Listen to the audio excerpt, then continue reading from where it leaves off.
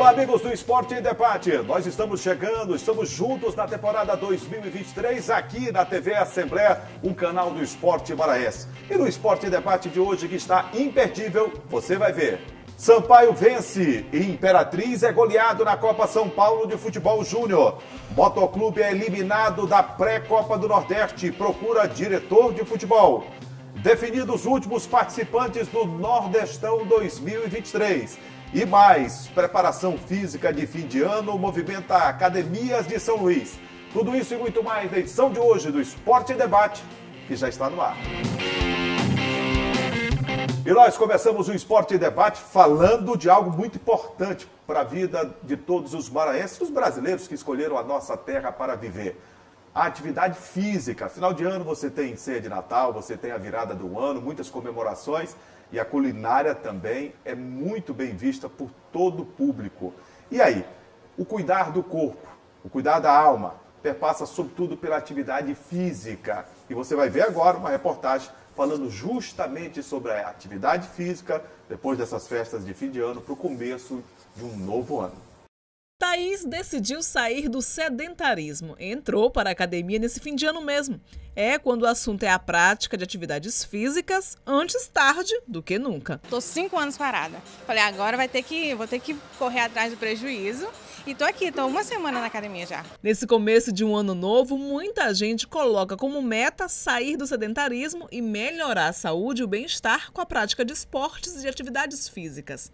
A proprietária desta academia já percebe o aumento no número de matrículas. Período de férias, principalmente, o pessoal tira um tempo mais para se cuidar, né?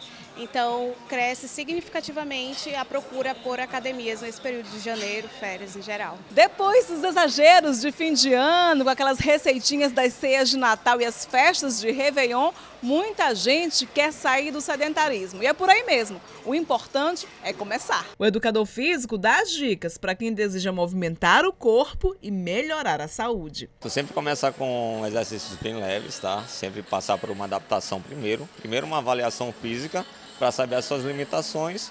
Logo em seguida a gente consegue é, detectar aquilo que a pessoa está precisando de acordo com o seu objetivo se é ganhar massa muscular ou se é perder gordura corporal. Seu João é um exemplo para os mais novos. Cuida da saúde e deixa uma mensagem para os sedentários de plantão. Quem ainda não, não treina, que continue, comece a treinar. E quem já treina, que continua.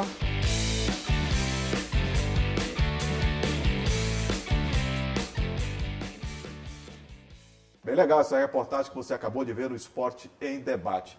Estou ao lado do Gregório Dantas. Tudo bem, Greg? Beleza, Jurinha. Feliz 2023. Para você saúde, também. paz e que todos nós possamos viver com alegria. Alegria. Respeito à democracia. Respeito à democracia. É, direito de ir e vir preservado. Direito de ir e vir preservado. Né? É. E que essa república possa viver um, um momento diferente do que nós testemunhamos no domingo. Né? Verdade. Algo muito triste, lamentável. Criminosos que invadiram Brasília foram a sede dos três poderes constituídos e promoveram vandalismo, violência, um Foi. ataque à democracia que se mantém de pé. Isso. É, na verdade, um ataque eu vou além, terrorista. Terrorista. Né? Se você invade os três poderes constituídos da República Federativa do Brasil, né? Invadiu o executivo, o legislativo e o judiciário, as sedes máximas dos poderes. E defendendo intervenção militar, né? Golpe, defendendo golpe é terrorismo. Não é isso? E quebra, quebra tudo. Quebrando tudo, é depredando o patrimônio é público. É terrorismo. E agora, fazendo um link com o futebol, eu estava até acompanhando alguns programas esportivos de nossos corrimães, Juliana, o pessoal falando muito sobre a utilização da camisa da seleção brasileira nesses atos terroristas. É, é triste, né? A camisa da seleção brasileira representa o futebol, representa o máximo do futebol. É um símbolo nacional. É um símbolo nacional, mas além de ser um símbolo nacional, para mim, ela é um símbolo do futebol mundial, né? Do esporte, do lúdico, da beleza, né? E ela foi transformada, infelizmente, por esses grupos terroristas em instrumento de falso patriotismo. Ninguém é patriota destruindo bens públicos. Jamais. Invadindo e depredando bens públicos. Isso não é patriotismo. É, eu sei é. É, do cuidado que o presidente Lula está tendo. O ministro da Justiça Flávio Dino, mas é necessário a identificação de todo esse pessoal e a prisão de todos. A gente já tem informações que mais de 1.600 1.600 já foram presos até o momento. Mas bom mesmo é que todos eles estivessem presos Isso. Né, e pagassem a pena máxima, de acordo com a legislação e Constituição brasileira, Código Penal, de 12 anos de cadeia. Era o correto. Era o correto. Esse era o correto, né? É uma pena, pelo que eu falei, a utilização da, da desvirtuamento da função simbólica da camisa da seleção brasileira. Ô, Greg, Né?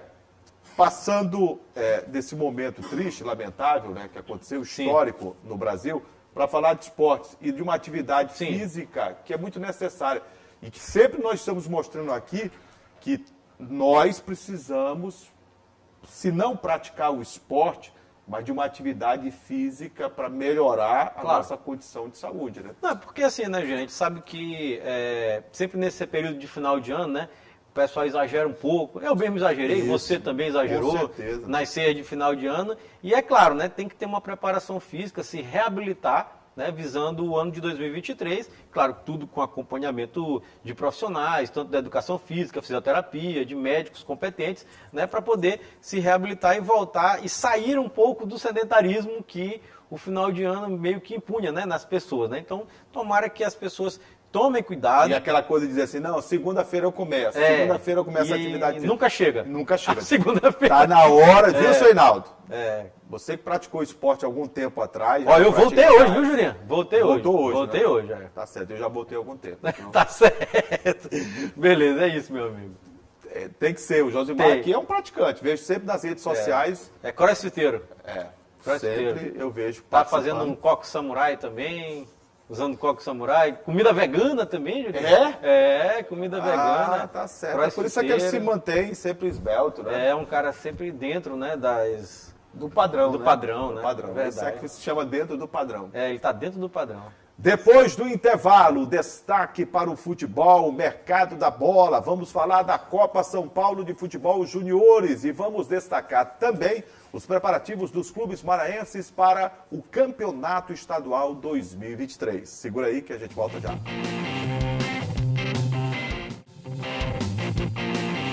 Já estamos de volta e agora o destaque do Esporte em Debate para o futebol. Copa São Paulo de Futebol Júnior, a maior competição do gênero da América Latina. Ô Greg, os Sim. representantes do estado do Maranhão, o Sampaio, dois jogos, um empate, uma vitória. Uhum. Isso. E o Imperatriz acabou goleado, né? Foi. Na última exibição. E, e aí? É, vamos começar falando do, do Imperatriz, né, Jurinho? Imperatriz, infelizmente, sofreu uma sonora goleada, né, rapaz? 6 a 0 É demais. né? Para a equipe tradicionalíssima do Fluminense, principalmente nessas competições de base, né? É, tem lá em Xerém, Isso. no Rio de Janeiro, uma estrutura dos clubes cariocas. É a melhor. talvez o Flamengo agora possa estar se equiparando, É, mas, mas- o Fluminense tem uma tradição. Tem o Centro de Formação de Xerém, é, É de excelência. De viu? excelência. E eles sempre produzem ali grandes talentos. Isso. E é uma equipe muito tradicional, diversas vezes campeão da Copa São Paulo de Isso. Futebol Júnior, mas 6 a 0 é demais. 6 a 0 não é, não é assim aceitável, vamos dizer assim, né? E o Cordino sofreu essa extrema goleada, né? Pelo grupo 14, que é disputado. Né? Oh, Imperatriz, desculpa. Imperatriz. Nas, que é pelo grupo 14, dis- disputado na cidade de Taubaté, né, interior do estado de São Paulo. Os gols do, do Fluminense foram marcados pelo Arthur, pelo Isaac, João Lourenço, João Neto, Gustavo Lobo e Luan Brito. Né? Com a vitória, o Fluminense chegou aos seis pontos, Jurinha, assumiu a liderança do grupo 14 e o, o Imperatriz está complicado na tabela. Né? Se complicou, muito, complicada a situação do Já o Sampaio Corrêa empatou a primeira, ganhava por 2 a 0 e cedeu o empate. Foi. E no segundo jogo venceu. Isso. Bolívia também, né? É, a Bolívia tá bem, né? E merecia, inclusive, ter ganhado o primeiro jogo, né? Foi um infortuito, né? É, tava 2 a 0 e aí sofreu é, o 2 a, a, a 2 né? O empate. Já contra o Botafogo de Ribeirão Preto, que aqui a gente tem que ressaltar também, é o dono da casa lá, o, o grupo do Sampaio é disputado na cidade de Ribeirão Preto. E o Botafogo é uma equipe muito tradicional do interior de São Paulo, e o Sampaio consegue um resultado muito importante, né? 2 a 1 O Sampaio foi superior o jogo inteiro, conseguiu. Tá bem é, a Bolívia. Tá, bem a Bolívia. E com bons valores, viu? Bons isso, valores, com seu bons, isso, com bons valores. é, e tem, assim, vamos dizer, é, encaminhado né, a sua participação dentro da Copa São Paulo de Futebol Júnior. Ô Greg, vamos falar agora de pré-Copa do Nordeste. O estado do Maranhão teve a abertura da temporada 2023 do futebol profissional. E não foi aquilo que nós gostaríamos de ter visto. Vou começar por Cordino Certo. e Vitória. Vitória e Cordino. Cordino Sim. jogando fora de casa. Vendeu caro, na minha opinião, uma derrota para o Vitória. Foi. 2 a 1 Vitória que tem Léo Gamalho, que não jogou, mas é uma das grandes contratações, tem um grande investimento. E ali no Barradão todo mundo sabe que é difícil para qualquer um.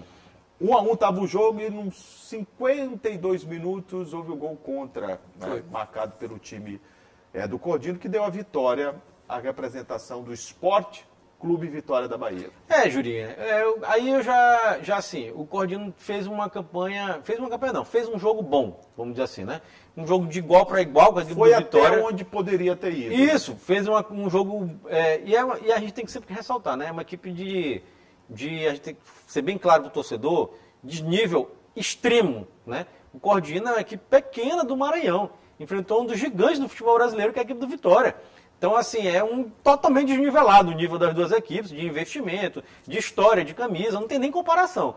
E conseguiu fazer um jogo de igual para igual com a equipe do, do Vitória da Bahia. Como você disse, estava empatando até o finalzinho da partida, e aí sofreu o revés, o segundo gol, 2 a 1 e acabou sendo eliminado. Mas não apaga, para mim, o excelente trabalho feito nessa partida específica. E do Macio Guerreiro outra E vez. do né? Marcinho Guerreiro, mais uma vez, né? Na Arena das Dunas veio a grande decepção do futebol maranhense em Natal, no Rio Grande do Norte. O Motoclube perdeu Perdeu.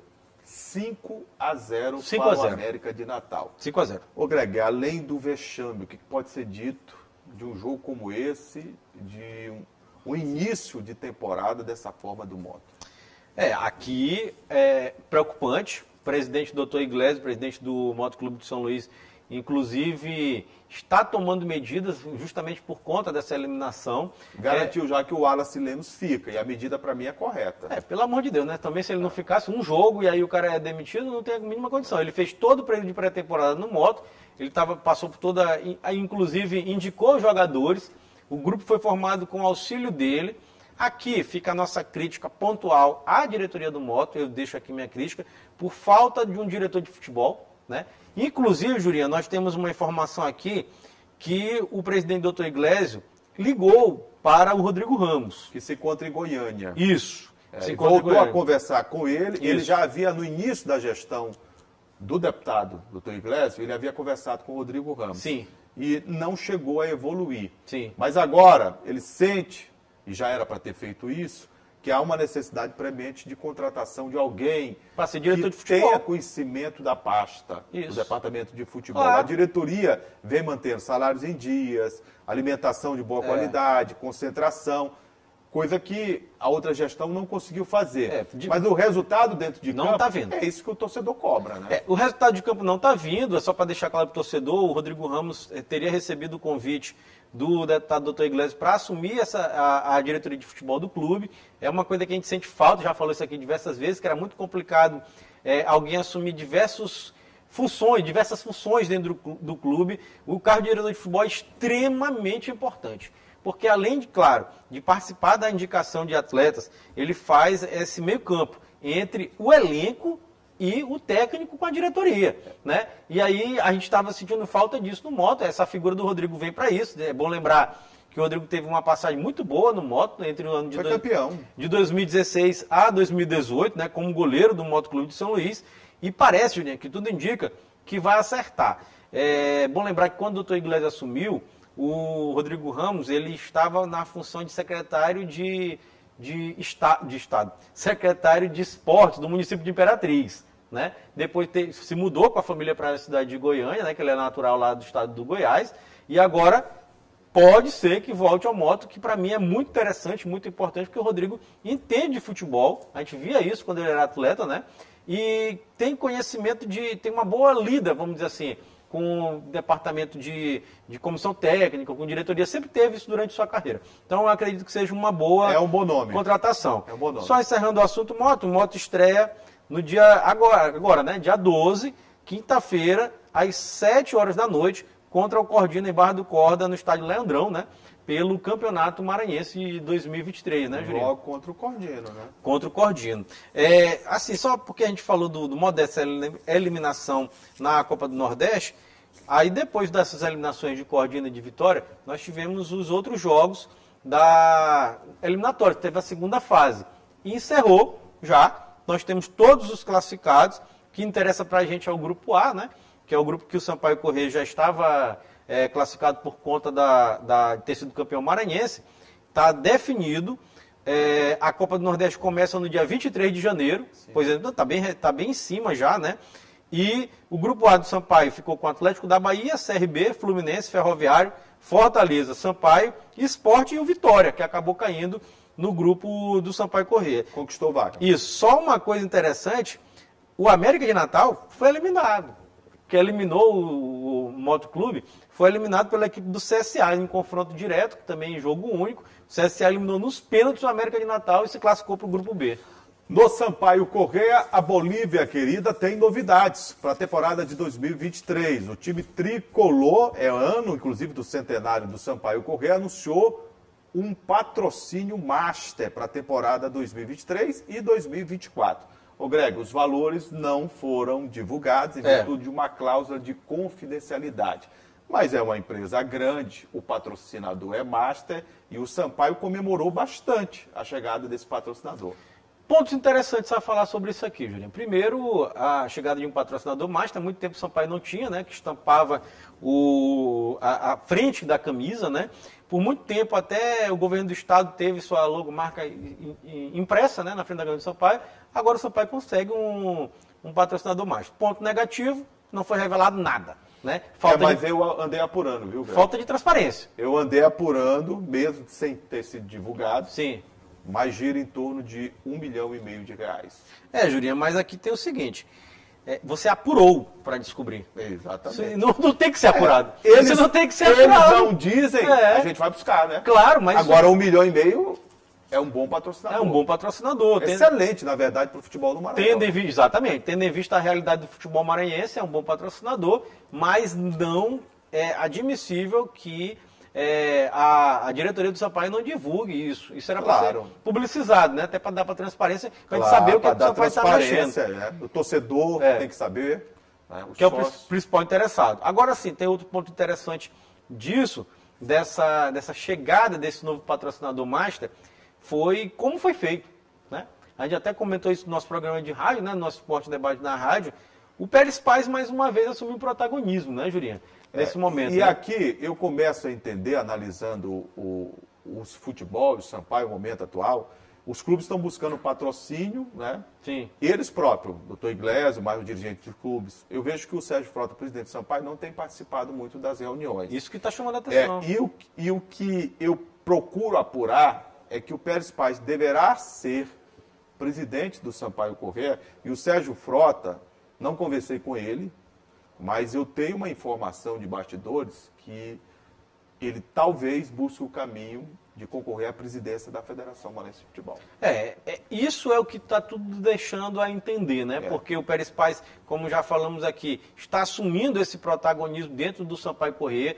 Toda vez que é, é anúncio de contratação de jogadores, coletiva de imprensa, é, agora, anúncio de patrocínio Master Pérez Paz assume esse protagonismo, fica à frente, fazendo esse carro-chefe. Então, acredito também que o, o, ele deve estar sendo preparado pelo presidente Sérgio Frota para assumir essa função tão recentemente. O presidente Sérgio ele é Frota, é jovem, né? Ele é muito jovem, mas que, já está... Aliás, que a gente não falou, é o vice-presidente do Sampaio, Pérez Paz, né? E é o vice-jurídico do clube. Isso, e a gente está dizendo assim, o presidente Sérgio Frota há muito tempo disse que esse ano é o último ano. Talvez é, esse mas ano. Reunião na CBF, é. o Sérgio não vai, quem vai é o Pérez. Sim. Reunião na federação, quem vai é o vice. Sim. Reunião com outros dirigentes do clube de formação da Liga, Sim. quem vai é ele. Reunião com o governo do Estado, quem vai é Anúncio de atleta, anúncio, anúncio de, de, patrocínio. De patrocínio é. Tudo é ele, então tá bem claro, né? Aí há um é. indicativo de que Sim. o Sérgio esteja fazendo uma transição dentro Isso. do Sampaio, mas ele não vai sair do esporte. Então eu acho que o caminho dele é buscar a eleição da FMF É, é bem pro- provável que isso aconteça.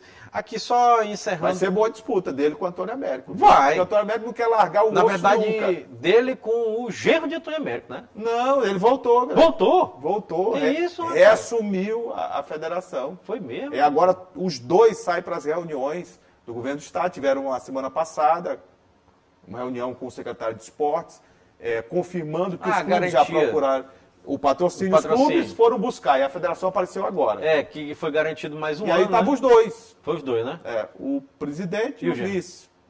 O sogro e o genro. O genro e o sogro. É. É tudo em casa. Tudo em casa. É, mas assim, o importante é que realmente. Tu tá é- rindo, Hinaldo? Não é verdade. e a gente tem que destacar justamente isso, né, Julinha?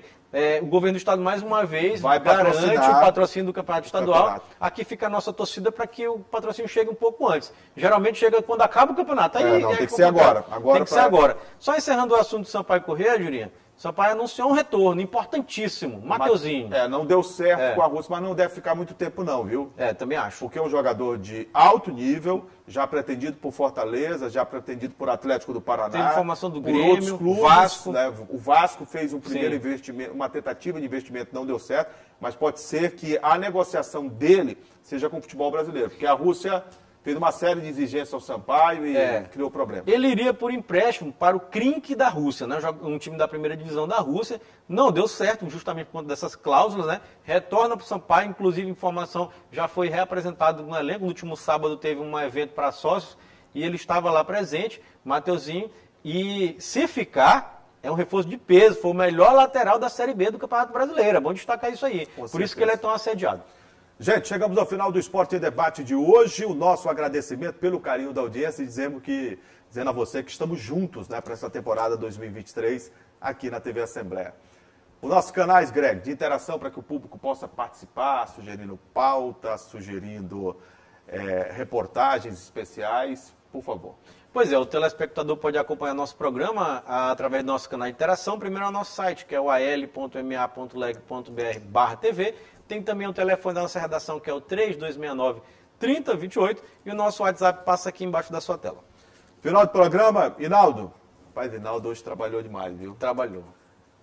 Nosso amigo Bispo, que aniversariou, viu? Ah, é? Vamos dedicar o programa Ah, de hoje rapaz. ao Bispo. A rapaz. Zambuja também, hein, A rapaz? Zambuja também, Sábado. dois grandes profissionais É. aqui da, Da TV e da, da rádio, rádio, da é. comunicação da Parabéns, Assembleia Legislativa. Então, um abraço Parabéns, a todos, Bispo. É. saúde, paz, felicidade. Em nome do Bispo e do Azambuja, a gente abraça todos os telespectadores e estaremos de volta em uma outra oportunidade. Até lá. Até mais, gente. Tchau. Tchau.